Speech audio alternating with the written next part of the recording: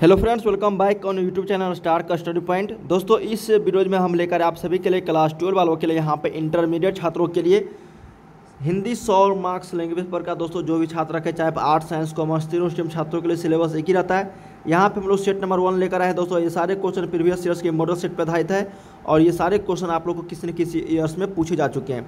हिंदी के अलावा दोस्तों और भी सब्जेक्ट का स्टडी मटेरियल प्राप्त करना चाहते हो तो आप हमारे इस वेबसाइट की मदद से कर सकते हैं। Star study point dot com Google पे लिखिएगा फिर लिंक डिस्क्रिप्शन में दिया गया इस लिंक पर जैसे ही क्लिक करोगे तो आपको हर एक सब्जेक्ट का स्टडी मटेरियल बिल्कुल फ्री ऑफ़ कॉस्ट में मिल जाएगा।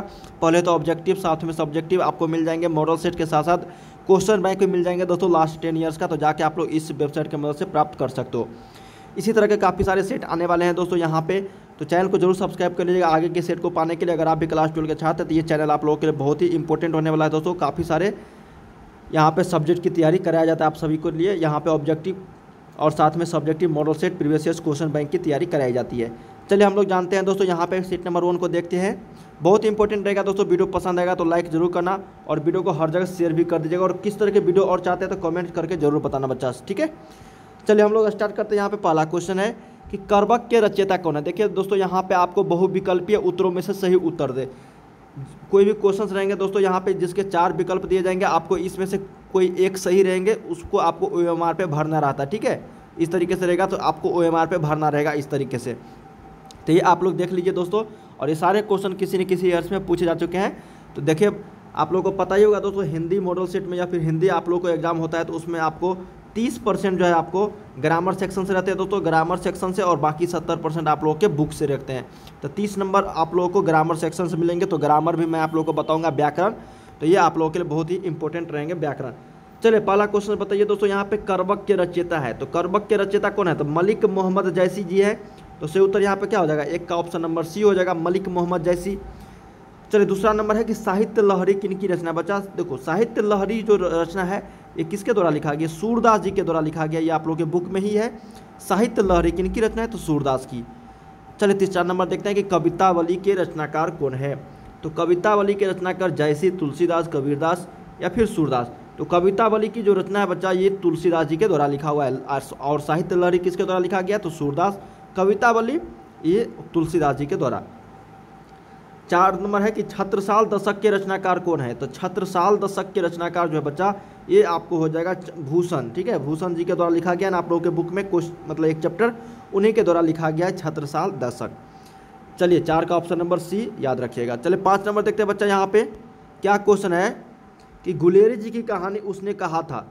चंदर शर्मा गुलेरी जी की कहानी है बच्चा ये, उसने कहा था, ये कहानी है, किस शहर के भीड़ भरे बाज़ार के से शुरू होती है? तो ये अमृतसर, पंजाब के अमृतसर से ये स्टार्ट होती है बच्चा। तो यहाँ पे पाँच का ऑप्शन नंबर सी हो जाएगा अमृतसर।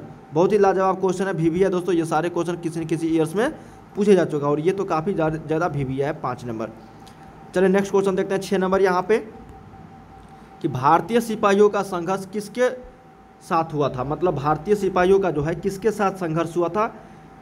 ये सिपाही की माँ जो चैप्टर है, उनमें दर्शाया गया बच्चा तो ये जर्मनों के साथ मतलब जर्मनी सिपाहियों के साथ यहाँ पे हुआ था।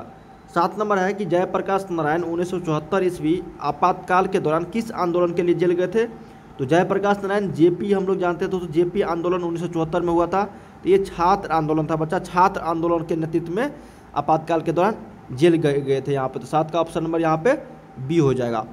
चलिए आठ नंबर देखते हैं कि जयप्रकाश नारायण के पिता का नाम क्या था?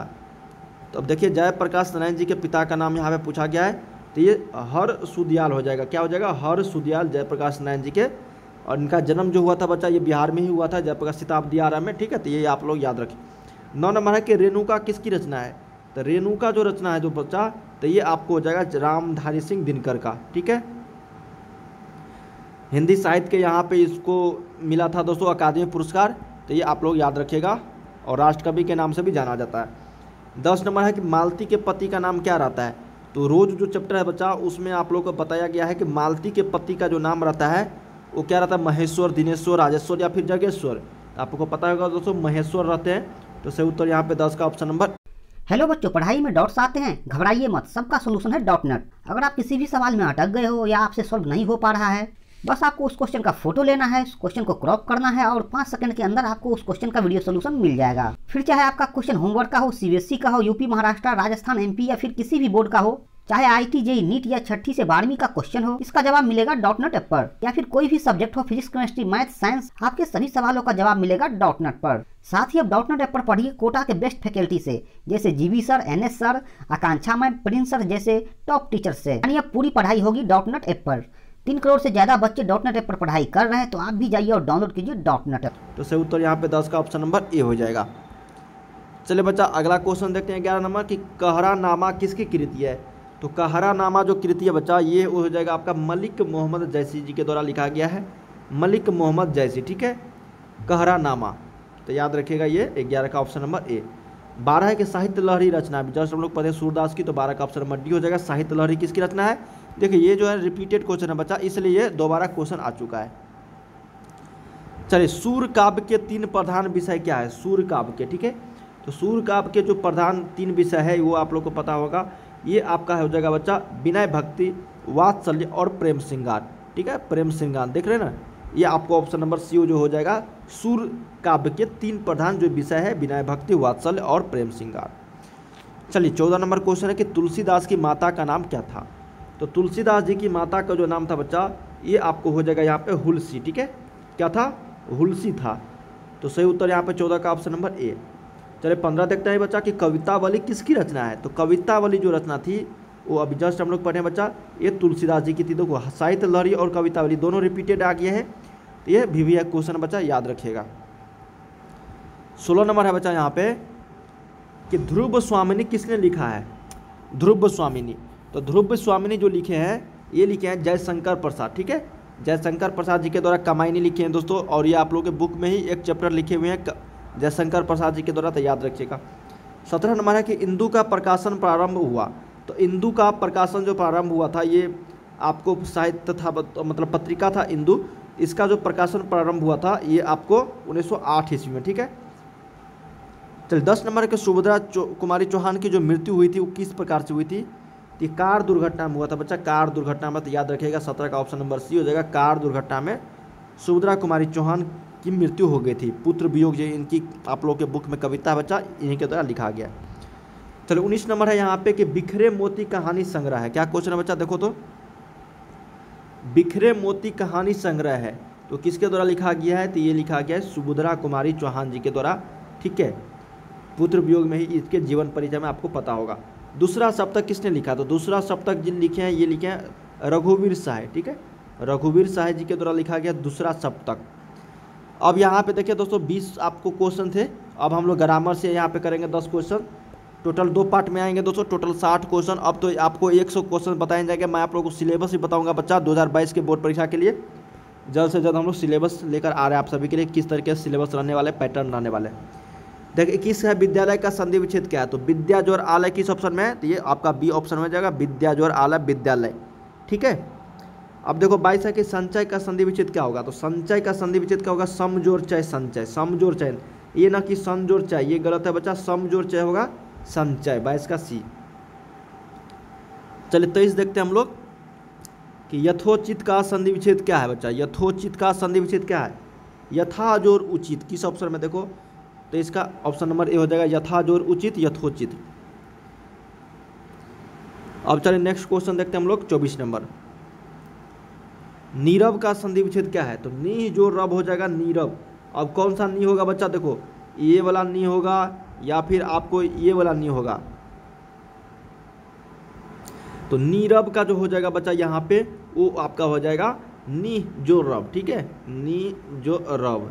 तो ये ये जो है आपका बच्चा ये बदल जाता है यहाँ पे इसमें, ठीक है? दीर्घी में बदल जाता है, विसर्ग यहाँ पे। तो सही उत्तर चौबीस का ऑप्शन नंबर सी हो जाएगा। पच्चीस है कि तथापि का संधि विजित क्या हो जाए? तो तथा ज़ोर अपी हो जाता है तथापि का। तो सही उत्तर यहाँ पे पच्चीस का बी हो जाएगा, तथापि का तथा ज़ोर अपी चलिए छब्बीस देखते हैं कि अतिशय में कौन सा उपसर्ग, अतिशय में। उपसर्ग और प्रत्यय आपको पता होगा बच्चा, अति, उपसर्ग उसको बोलते हैं जो शुरू में लगता है प्रत्यय जो लास्ट में लगता है। तो अतिशय में कौन सा उपसर्ग अति उपसर्ग है तो सही उत्तर यहाँ पे छब्बीस का सी हो जाएगा। स्वागत में कौन सा उपसर्ग है? सु उपसर्ग है ना? स्वागत। तो सु ज़ोर आगत होता है बच्चा, सु ज़ोर आगत का स्वागत, ये सु। देखो ना, जब भी आपको उपसर्ग और प्रत्यय पता करनी है तो उसको संधि विच्छेद कर दो, निकल जाएगा। तो सु ज़ोर आगत, स्वागत, यहाँ पे सु उपसर्ग है। चलिए तीन और क्वेश्चन कर देते हैं यहाँ पे।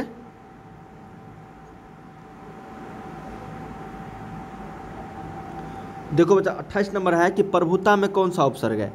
सॉरी पढ़ते हैं तो प्रभुता तो ताप पढ़ते हैं ना तो यहाँ पे ता हो जाएगा, सही उत्तर, अट्ठाईस का ए। उनतीस है कि गायक में प्रत्येक क्या है? तो गायक में गायक गई ज़ोर, अक। तो अक पढ़ते हैं बच्चा गई ज़ोर, अक, गायक। ठीक है? संधि विच्छेद करोगे, आंसर आ जाएगा। बाछे खिलना बाछे खिलना मुहावरे का क्या अर्थ है? बाछे खिलना का मतलब हो गया बच्चा, अत्यंत प्रसन्न होना। अत्यंत प्रसन्न होना, बाछे खिलना। तो क्या हो जाएगा बच्चा? यहाँ पे तीस का ऑप्शन नंबर सी तो बच्चा, यहाँ पे हम लोग कितने क्वेश्चन किए हैं टोटल तीस ऑब्जेक्टिव क्वेश्चन किए हैं और इसका नेक्स्ट पार्ट थर्टी वन से अगले क्लास में हम लोग लेकर आएँगे, अगले वीडियोज़ में लेकर आएँगे बच्चा। तो ये सभी आप लोगों के लिए बहुत ही इंपॉर्टेंट था और बताइएगा बच्चा कि तीस में आप लोग कितना जानते थे और ये सारे क्वेश्चन किसी न किसी ईयर से पूछा चुके हैं और ये मॉडल सेट के प्रैक्टिस सेट क्वेश्चन मैं आप लोगों के लिए इसी तरह के हर सब्जेक्ट का लेकर आते रहूँगा बच्चा। वीडियो पसंद आए तो लाइक ज़रूर करना और बताना बच्चा कि कितना आप लोग जानते थे। कमेंट करके ज़रूर बताना, ठीक है? और शेयर भी कर दीजिएगा। और चैनल को सब्सक्राइब ज़रूर कर लीजिएगा बच्चा, चैनल को सब्सक्राइब, ठीक है, ताकि आप लोगों को नोटिफिकेशन मिलता रहे। चलिए हम लोग मिलते हैं नेक्स्ट क्लास में। बाय बाय सभी को, चैनल को सब्सक्राइब कर लीजिएगा। आगे के नोटिफिकेशन पाने के लिए वीडियो के डिस्क्रिप्शन में आपको वेबसाइट का लिंक है, जाके ज़रूर विज़िट कीजिए।